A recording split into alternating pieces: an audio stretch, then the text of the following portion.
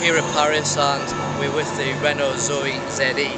This is one of four electric vehicles from Renault and this is a Super Mini. You might be able to see there's actually a plant in the car there which as anyone knows is shorthand, car manufacturer shorthand for this is really green. This is powered by an 80 bhp electric motor and it's got a 100 mile range. Uh, this is probably going to foreshadow the new Renault Clio Super Mini styling and that will come out in 2012. It will be an electric version, normal version will cost about £12,000.